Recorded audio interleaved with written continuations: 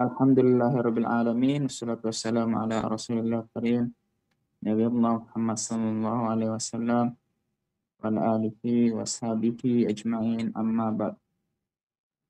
Uh, hadirin audiens audiens partisipan sekalian, pada hari ini uh, malam ini Ba'da Isya sewaktu Kota Makassar dan sekitarnya uh, insyaallah kita akan uh, mendengarkan ya beberapa nasihat-nasihat dari Ustadz karena kajian ini adalah satu kajian rutin yang beberapa kali kita sudah laksanakan Alhamdulillah dan semoga konsisten, konsisten beberapa waktu ke depan dan beberapa uh, menjadi rutinitas yang sangat menjadi uh, menjadilah ladang pahala kita dan teman-teman sudut kita.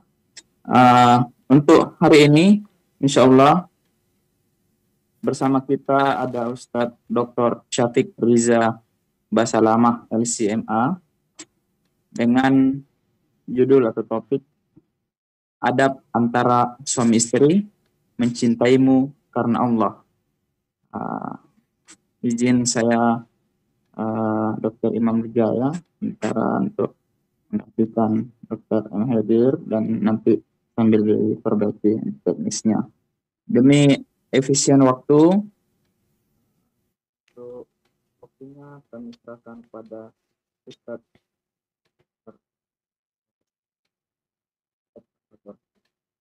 Jazakumullah khairan. Assalamualaikum warahmatullahi wabarakatuh. Alhamdulillah. Rabbil alamin. Wabihi nasta'in ala umuri dunya wad din.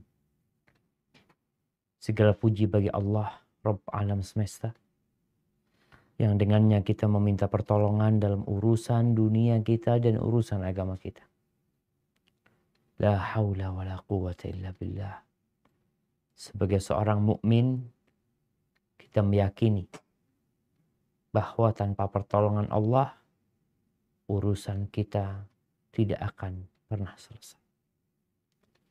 Wassalatu wassalam ala sayyidina wa maulana Muhammadin wa ala alihi wa ashabihi ajma'in. Amma ba'd, ahibati fillah. Para jamaah rahmakumullah khususnya teman-teman dokter atau yang bakal menjadi dokter. Hari ini kita berkumpul atas karunia Allah.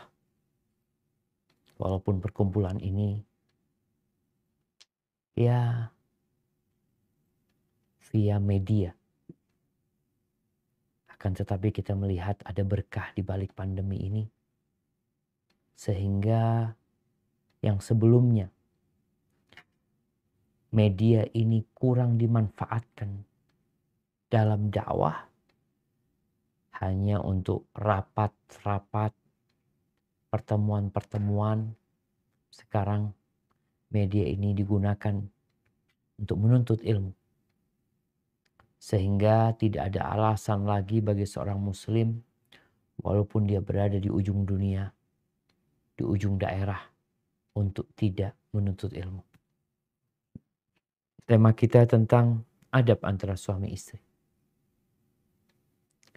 Mencintai karena Allah Azza wa fillah.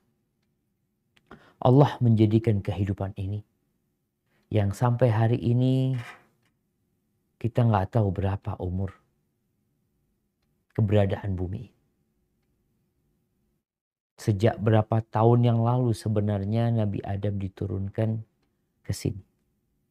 Tapi yang jelas berlangsungnya kehidupan ini dikarenakan adanya pernikahan yang terjadi antara seorang laki-laki dan wanita. Bayangkan manusia di muka bumi ini yang jumlahnya sekitar 8 miliar. Itu bermula dari dua makhluk. Nabi Adam dan istrinya Hawa. Dari dua orang. Yang sekarang menjadi delapan oleh karena itu dalam sebuah ayat yang sering kali Nabi membacakan ketika beliau berceramah. Yaitu surat An-Nisa ayat pertama. Senantiasa kita diingatkan atas nikmat Allah Azza wa Jalla. Kita diingatkan pula untuk tidak merendahkan etnis lainnya.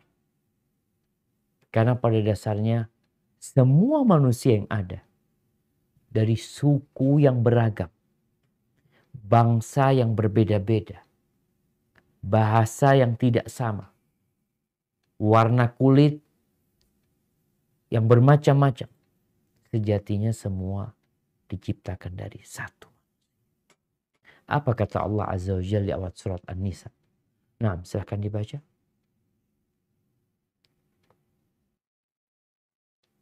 أعوذ بالله من الشيطان الرجيم. بسم الله الرحمن الرحيم. يا أيها الناس اتقوا ربكم الذي خلقكم من نفس واحدة.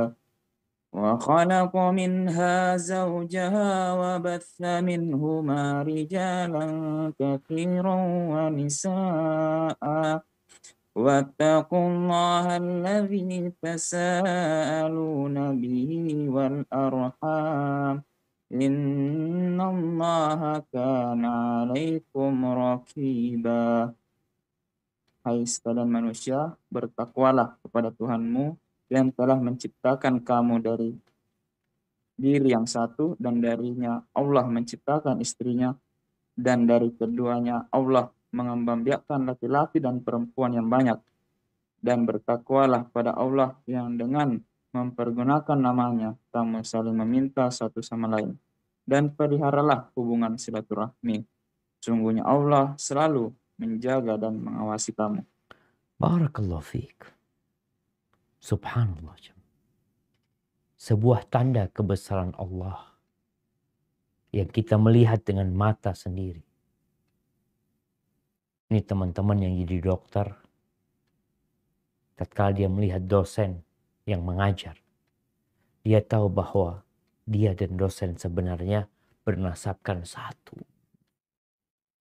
Yang sampai kepada bin Adam alaihissalam. Allah menyuruh kita bertakwa. Yaitu melaksanakan perintah dan menjaga larangan. Hubungan suami istri ini perlu dijaga.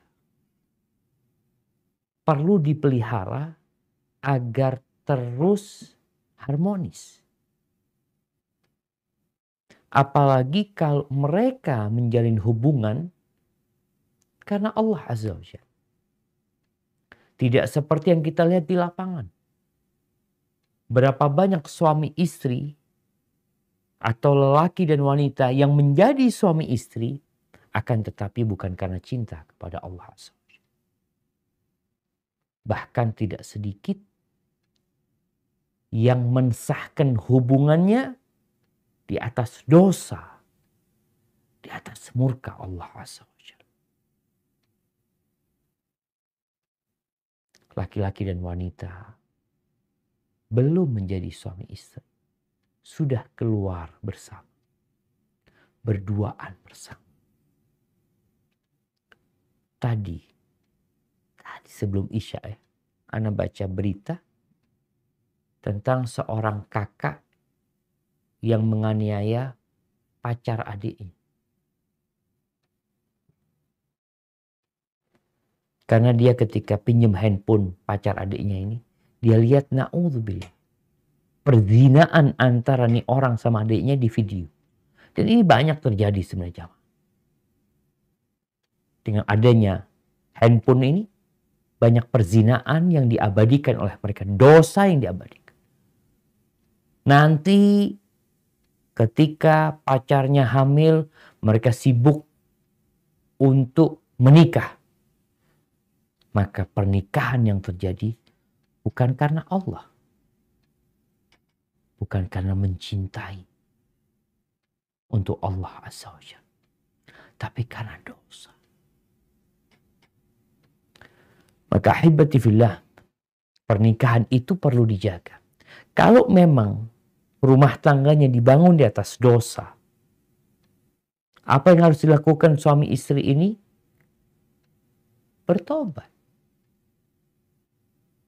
Dan Allah ghafurur rahim.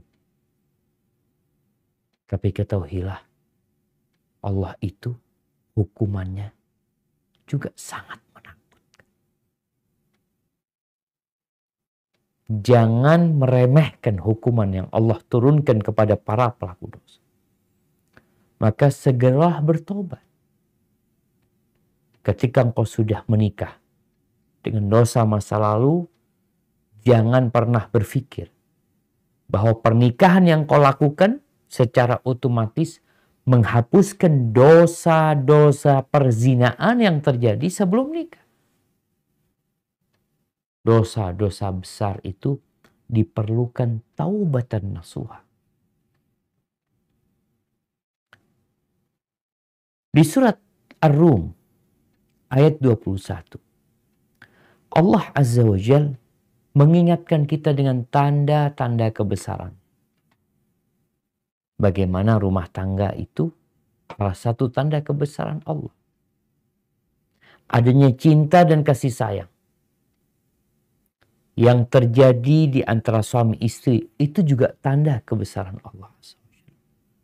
Jadi pernikahan di dalam Islam itu adalah waktu untuk menumbuhkan cinta dan memupuk kasih sayang. Nggak harus ketika menikah ada cinta. Tapi cinta karena Allah harus selalu ada. Ketika seorang laki-laki meminang seorang wanita. Kenapa engkau suka sama dia? Kenapa? Oh dia cantik. Iya, terus dia pinter. Masya Allah. Terus dia dokter. Karena itu aja. Gak ada karena dia rajin sholat. Karena dia rajin berpuasa. Karena dia seorang wanita yang menjaga kehormatan dirinya. Berarti engkau menikah bukan karena cinta kepada Allah Azza Tapi hanya karena urusan dunia. Dan orang-orang yang tidak memahami kedudukan cinta karena Allah, maka dia akan meremehkan hal ini. Padahal cinta karena Allah itu akan yang membuat manusia merasakan manisnya keimanan, indahnya menjadi seorang muslim. Tapi kalau nggak ada cinta karena Allah, nih manusia akan hidup di muka bumi terbebani dengan aturan-aturan Allah Azza wa Karena dia nggak suka. Maka hibati fillah. Coba kita baca surat Ar-Rum ayat 21. Nam tafadhal. أعوذ بالله من الشيطان الرجيم ومن آياته أن خلق لكم من أنفسكم أزواجا لتسكنوا إليها وجعل بينكم مودة ورحمة إن في ذلك لآيات لقوم يتفكرون dan di antara tanda-tanda kekuasaannya ialah dia menciptakan untukmu istri-istri dari jenismu sendiri supaya kamu cenderung dan merasa tentram kepadanya dan dijadikannya di antaramu rasa kasih sayang. Sungguhnya pada yang demikian itu benar-benar terdapat tanda-tanda bagi kaum yang berpikir. Barakallahu fikum. Jadi Allah menjadikan di antara suami istri ini mawaddah warahmah. Yang pertama Allah jadikan kecondongan, sakinah. Ada kecondongan kepada itu perempuan. Kalau bicara cinta, kadangkala belum hadir dalam rumah tangga. Tapi cinta karena Allah sudah datang. Ini buat yang membangun rumah tangganya, tidak di atas dosa. Lalu bagaimana Allah menjadikan mawaddah warahmah? Para ulama menyebutkan terkadang rumah tangga itu dibangun di atas mawaddah. Cinta, kasih. Tapi juga ada rumah tangga yang dibangun di atas sayang. Ada seorang suami yang mempertahankan rumah tangganya. Ketika ditanya, kenapa engkau masih mempertahankan rumah tanggamu? Apakah engkau cinta sama istrimu? Kadang-kala enggak. Enggak. Kesian. Allah tuh yang jadikan rasa kasihan. Sehingga dia mempertahankan rumah tangga. Ahibati fillah. Suami istri ini memiliki hak dan kewajiban yang setara. Hanya saja banyak di antara kita yang melangkah ke pernikahan tanpa pernah sekolah, tanpa pernah belajar. Apa sih sebenarnya kewajiban dia sebagai seorang suami? Atau apa kewajiban dia sebagai seorang istri? Dia belajar tentang bagaimana menjadi seorang dokter. Dia belajar lagi untuk menempuh spesialis. Bagaimana dia menjadi seorang ahli bedah. Membedah perut manusia. Bahkan membedah jantung manusia dalam rangka pengobatan dia. Tapi dia nggak pernah tahu cara membedah jantung istri. Karena nggak dipelajari. Maka adanya hak dan kewajiban ini menuntut setiap muslim dan muslimah untuk belajar. Dan tidak ada kata terlambat. Karena kalau seorang sudah menikah 10 tahun, menikah 15 tahun, ada yang 20 tahun. Tapi ternyata dia melihat rumah tangganya kok tidak seperti jannah. Ada istilah baiti jannati, rumahku surgaku. Kok kayaknya nggak merasakan itu. Maka dituntut kalau yang ingin mendapatkan rumah tangga yang indah, yang penuh dengan kebahagiaan, maka belajar. Apa kewajiban dia, apa hak dia, apa adab-adab yang harus dia jaga. Di surat Al-Baqarah ayat 228 Allah Azza wa di akhir ayat ini mengatakan walahunna mithlul ladzi 'alaihinna bil ma'ruf walirrijali 'alaihinna darajah. Dan bagi para wanita hak yang setara dengan kewajiban mereka.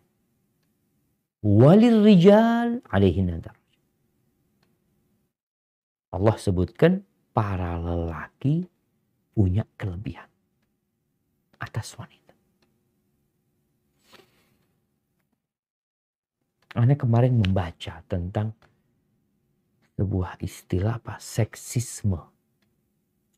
Iya. Seksisme ya seksisme di mana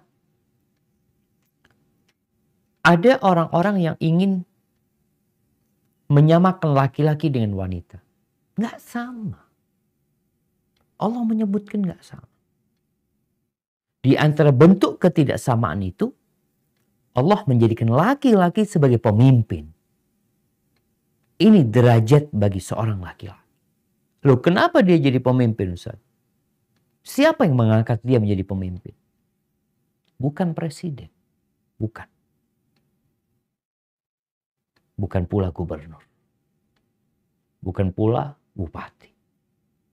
Tapi Allah Jalla Jalalu yang menciptakan manusia. Dialah yang berfirman mengatakan Ar-rijalu qawwamuna 'ala nisa.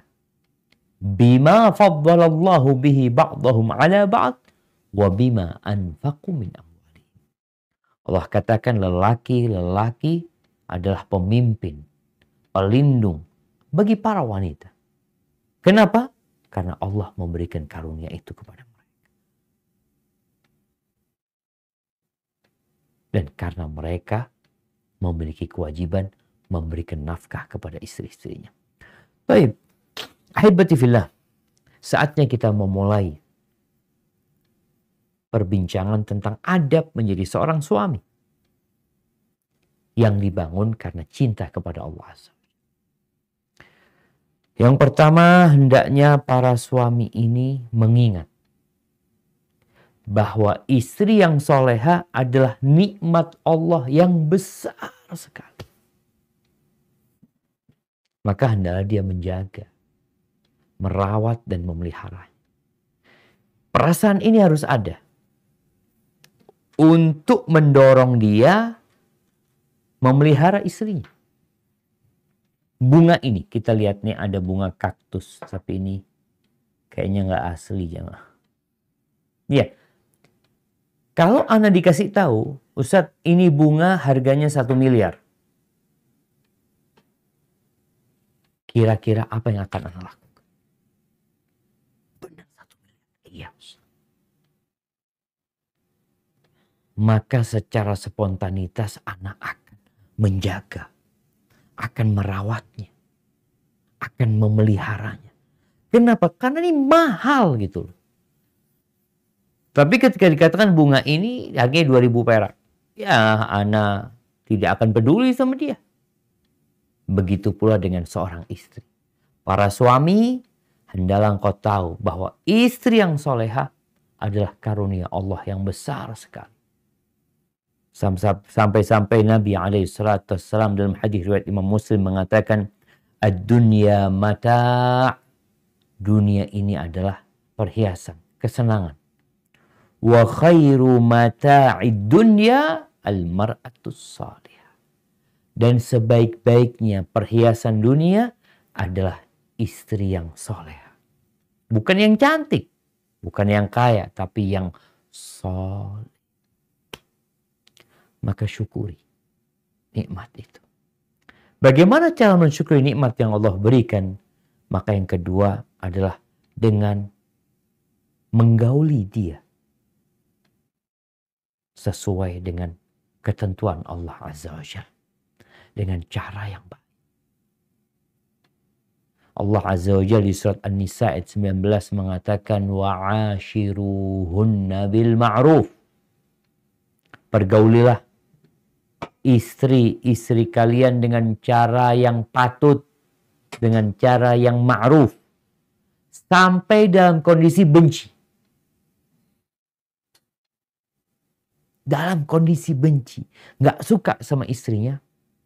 Allah mengatakan fa in karihtumuhunna fa'asa an takrahu syai'an wa yaj'alallahu fihi khairan katsira. Jika engkau benci dengan mereka, bagaimana mempergaulinya? Tetap dengan cara yang baik. Bisa jadi yang kalian benci itu, di balik itu Allah menyediakan atau menciptakan kebaikan yang Para ulama mencontohkan ya, bisa jadi istrimu itu nggak pandai bersolek. Tapi dia pandai mengajari anak. Bisa jadi dia tidak pandai memasak. Tapi dia pandai berhias. Dia pandai menjaga diri. Maka seorang suami yang baik hendaklah memuliakan istrinya. Dia yang bersabar.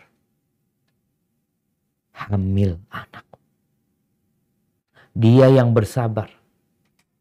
Melahirkan anak. Bahkan dia berjuang agar anakmu keluar ke dunia ini dengan selamat apa nggak pantas untuk dihargai, untuk dihormati. Seorang suami yang bertakwa kepada Allah Azza wa Jal, mau tidak mau dia akan memuliakan istri. Hasan al-Basri rahimahullahu taala pernah dimintai ya pendapat. Ada seorang yang hendak menikahkan putrinya. Dia tanya dengan siapa? Artinya ketika banyak orang yang meminang putrinya, aku tuh menikahkan putriku dengan siapa? Maka kata Hasan Basri radhiyallahu anhu, "La tuzawwij ibnataka illa min taqi." Jangan engkau menikahkan putrimu kecuali dengan orang yang bertakwa. Yang takut sama. Bukan takut sama mertua Bukan takut sama istri, tapi takut sama Allah. Kenapa? In ahabbaha akramaha. Kalau sang suami yang bertakwa ini mencintai istrinya, maka dia akan memuliakan istri. Terus gimana kalau dia nggak suka sama istrinya? Dia tidak akan membolimin istri. Begitulah sifat orang yang